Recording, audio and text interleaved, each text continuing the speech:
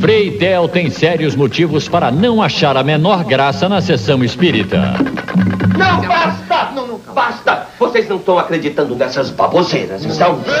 De Jorge Amado, Tocaia Grande. Uma surpresa em cada capítulo. Hoje, depois do Jornal da Manchete.